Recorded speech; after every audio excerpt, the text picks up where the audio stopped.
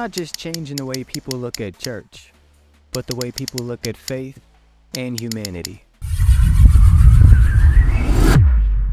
This is the FSC Global. All right, so Fresh Start, Fresh Start. Check this out. Uh, I want to let you guys know uh, we are having prayer every Monday at 5 a.m. The Zoom link will be in the description below. I just want to let you know we're having prayer on Mondays at 5 a.m. We used to have it at uh, 7 p.m. Um, but I want us to actually like get this prayer in like at the top of the morning. I know it's gonna be tough for some people, okay? But seven o'clock was tough for some people. So you know what? It don't even matter. Every Monday morning at 5 a.m. we're gonna be praying um, over the word that was that was preached um, on Sunday, over the visions and the callings on our lives individually as well as collectively.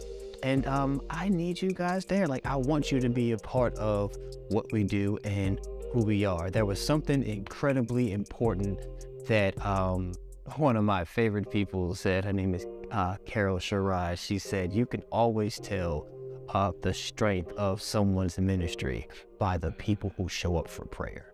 So I want us to be able to show up to pray over each other, to pray over our homes, to pray over our ministry, to pray over the things that we do and who we are.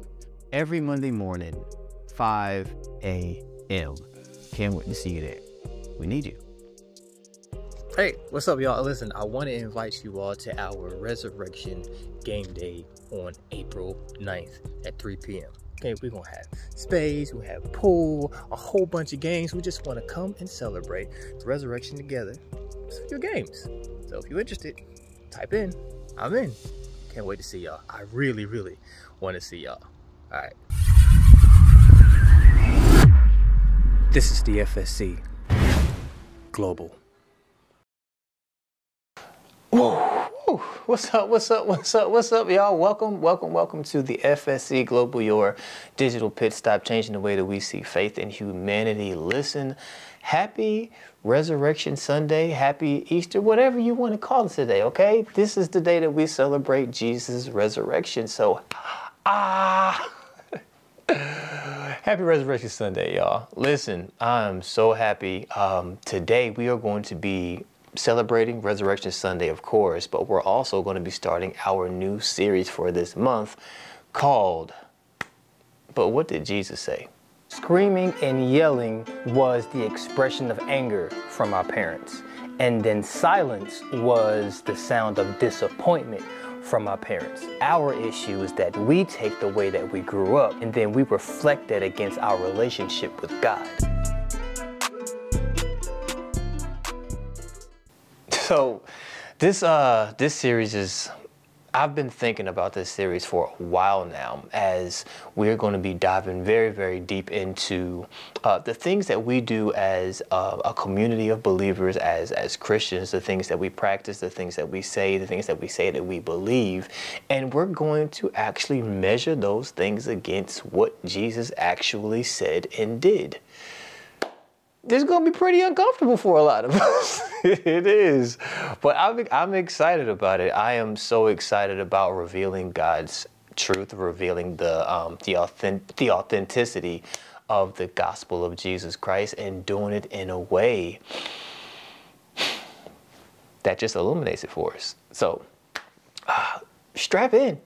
Let's get this. Let's get it. Let's get it. Let's just go straight into it. Um, turn into your Bibles to Matthew 28. This will be the last chapter in the book of Matthew. Matthew 28. Uh, we're going to start at verse number 16. Verse number 16. Oh, yo, Still can't wait to see you guys today at 3 p.m. It's going to be our resurrection game day. I really, really hope y'all come and join us. Uh, if you don't got the, uh, the, information already, just comment I'm in, and then you'll get all of the information to come join us today. Can't wait to see y'all. So, Matthew 28, verse 16, and it says, Now, the 11 disciples went to Galilee, to the mountain to which Jesus had directed them. And when they saw him, they worshipped him, but some doubted. And Jesus came and said to them, All authority in heaven and on earth has been given to me. Go therefore and make disciples of all nations, baptizing them in the name of the Father and in the name of the Son and of the Holy Spirit, teaching them to observe all that I have commanded you. And behold, I am always with you. I am with you always to the end of the age. Whew. So today we're going to be speaking from the subject What's your job description? Father God, you are holy, you are righteous, you are good, you are brilliant, you are genius, you are perfect. Uh, may your words be, be coming out of my mouth. All of your words be coming out of my my mouth for this uh, for this sermon, for this this talk, for this time that we have today. And uh, God, just do your thing. In Jesus' name we pray. Amen. Yeah, so what's your job description? Now, I remember, ooh, this is gonna be interesting. I remember the first time I got um, um, a, job, a, a, legal job. Not like a job, like not, not that I, not that I did everything illegal before I got it. The first job I got that gave me like a W-2 or a 1099. Let's just go there, right? First job I got, when um, I got offered the position, um, they listed out everything that I'd be doing for my job. And, you know, just listing stuff like, uh, simple stuff like taking out the trash or cleaning out something or like just anything. But everything that I would do in my job would be um, listed in this job description. Now, I was in the back room at Target, so the list wasn't too long. It wasn't long at all. But even before you get the job, when you're applying for a certain position, they will list out the job description of everything that you'd be responsible for doing. Now, I don't know how uh, like how your jobs are, but every job that I've gotten, my supervisor was very strict on doing my job um, and not trying to do someone else's job or me doing my job, my job description to the best of my ability. That's always been any supervisor that I've ever had growing up, that they've been really strict on that. Do your job. I've heard that a whole lot. Hey, do your job.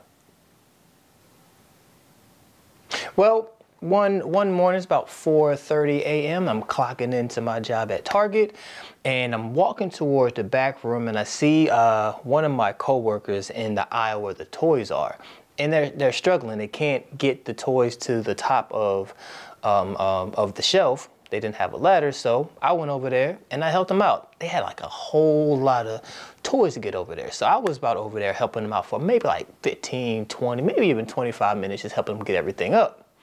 After I was finished, I go back to the back room and my supervisor goes off on me. He's like, why are you so late? I'm like, chill. I was helping somebody do something in the, in the toys aisle. My supervisor looks me in the eye and he says, that's not your job. Your job is to be here in the back room at 4.30 a.m. so we can make sure we have enough toys to go to that aisle. Now we're going to be late opening the store this morning and they're going to think it's because we were late in the back room when the reality is it was on the floor. I was about 19 years old at the time, so I was like, man, whatever. But how many of us has ever thought that we were doing someone a service when in reality we were just doing someone else's job while there was no one in position to do ours? You ever catch yourself doing somebody else's job, trying to make things go faster, trying to help, trying to be of assistance? Have you ever found yourself trying to do God's job? Yeah. You see, while I was reading the scripture, I was continuously thinking, like, what is Jesus' job description? Like, what is Jesus here for? He was, you know, born of a virgin, lived his life, created his ministry, healed, set people free, uh, withstood the devil, died for us, he was resurrected. All of that was in his job description. After he was resurrected, all he had to do was go sit at this, the right hand side of God. But he found it necessary to come back to his disciples one last time, which is great because there was one last thing that he needed to give to his disciples before he left. Now, all over the globe, as believers, we're going to be celebrating and talking about the resurrection of Jesus Christ. Like today is Easter, everybody's going to church. Okay, everybody's going to church, learning about the resurrection. Everybody having Sunday dinner. Like this is this is the thing that happens. And we always talk about his resurrection, but I really, really want us to dig into why did he come back to the disciples after he was resurrected? He just spent the last three years uh, investing and pouring into his disciples who are now apostles. And he's poured everything he has, everything he is into these gentlemen into uh, Mary and Mary Magdalene. He's, he's poured himself into just about everyone he's come in contact with. So why has it been necessary? Why was it necessary for him to come back and then show himself again to his disciples? Now, in the Bible, there were a number of believers, people who believed that Jesus was the Christ, that he was the Messiah. Once he died on the cross, they didn't necessarily believe in his resurrection. So like it's it's easy to believe, okay, this is Jesus, this is the prophet, or this is Jesus, this is the uh, the Messiah, or this is Jesus, this is the healer. It is a completely different thing to believe this is Jesus, this is God. Even beforehand, Jesus showed himself after his resurrection to a few, of his, a few of his disciples, and they didn't believe that it was him. They treated him as if, as if he was another person. If there is one thing that will separate the real ones from the fake ones in our faith, it is the fact of knowing that our faith is not necessarily told, it's shown.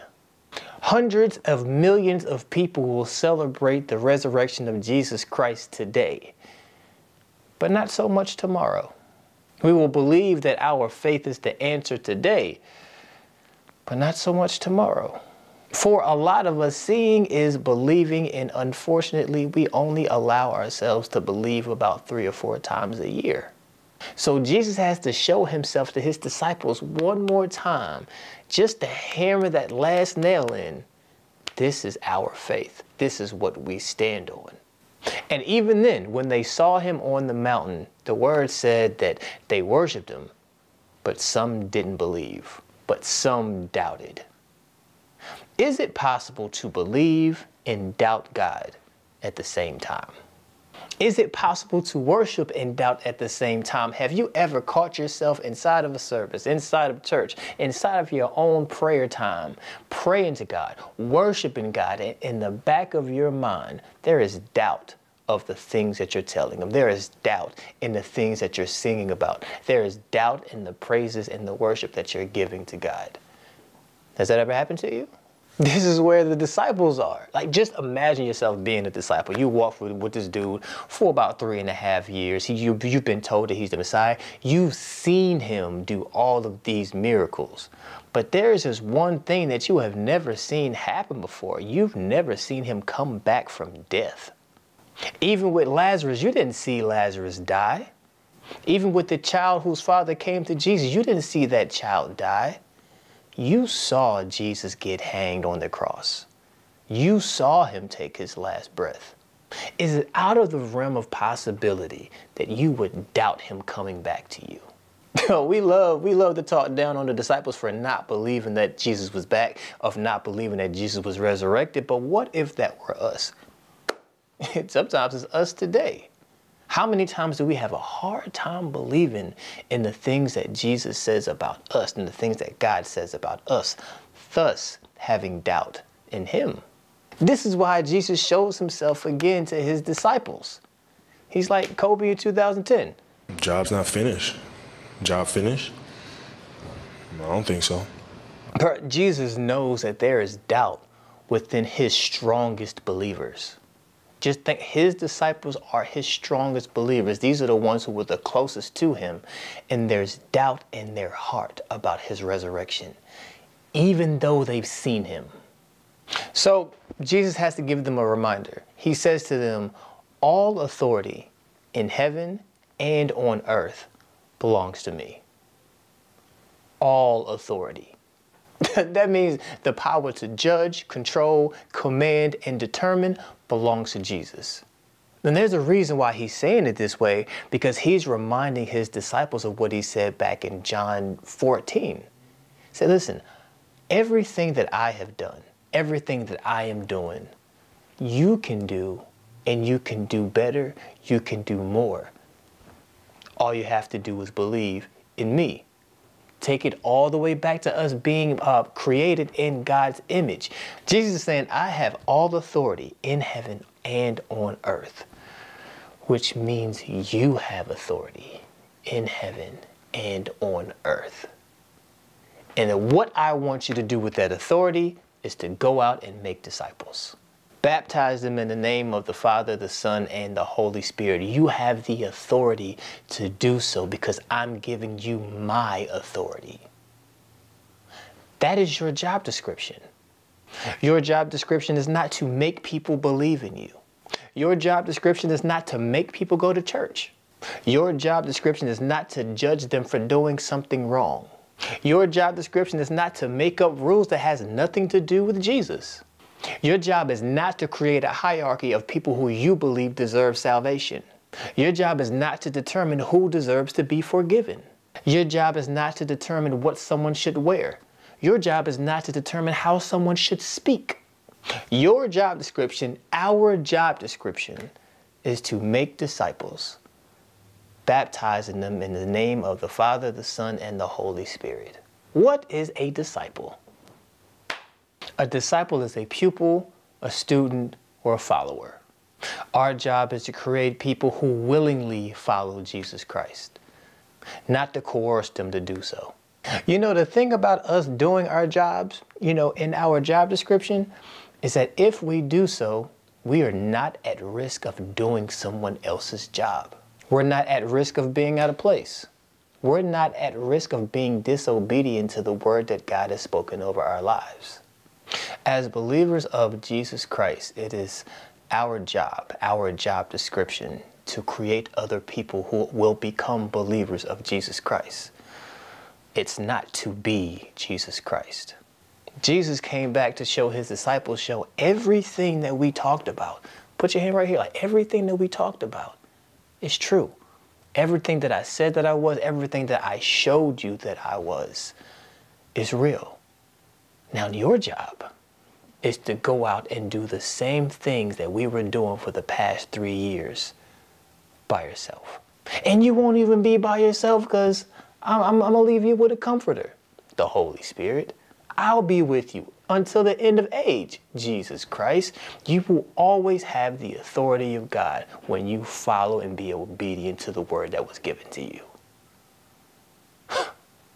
When, when we celebrate the resurrection of Jesus Christ, we're not just celebrating that he got up. We're celebrating that he's revealed inside of us. We're celebrating that the abilities that he had when he walked this earth, we now have. That's what we're celebrating. so the next time you're thinking about doing something because you're annoyed or because you think this is the right way to do it or because you think this is the way that it's supposed to be, I need you to ask yourself a question. What's my job description? Father God, you are righteous. You are risen.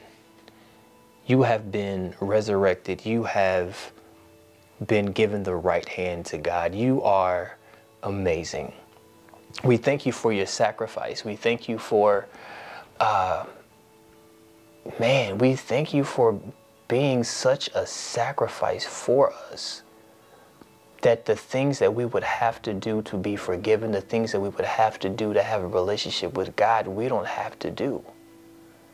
Thank you for taking every single stripe.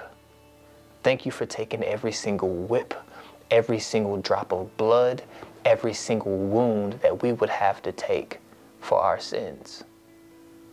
Thank you for putting us in a position to have a relationship with God, a healthy relationship with God. Thank you for showing us pure in God's eyes because of your sacrifice. Jesus, there's, wow, Jesus, there is nothing that we can do without you because we have to go through you for everything. And we are appreciative of it and we are knowledgeable of it. We're thankful for it. Father God, uh, we thank you. We thank you for the Holy Spirit that you've given us for our comforter, our decision maker, our confidant, um, our critical thinker. We thank you for equipping us with such um, a variety of weapons, such a, a variety of skills, such a variety of tools to better worship you, to better praise you, and to better do the job that you've called us to do, to make disciples. Father God, endow us with your love that we may share that love with other people and give us the ability and the creativity to continuously do your work. We love you and we're thankful. In Jesus' name, amen. Amen. We love you. God love you so much more. Go out there and create something. Hey, listen, 3 p.m. today, all right? Say I'm in, you'll get the address and everything. Just comment, hey, I want to see y'all. I want to see you. See y'all today. See y'all later.